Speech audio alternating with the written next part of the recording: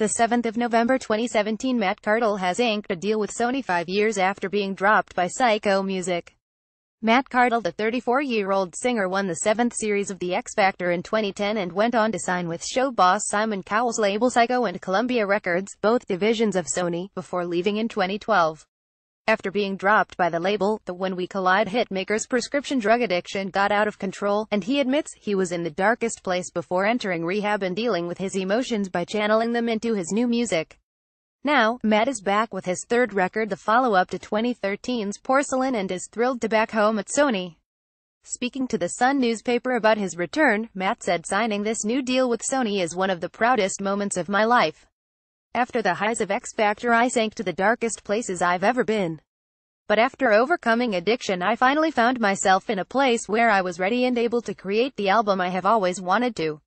I then spent three years pouring blood, sweat and tears plus all my darkness and my hope into this album.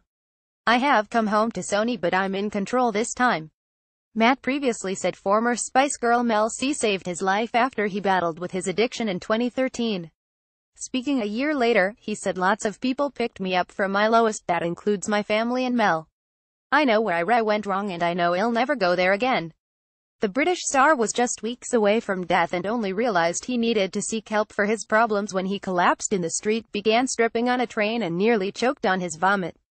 Speaking at the time, he said I was so out of it I was like a zombie.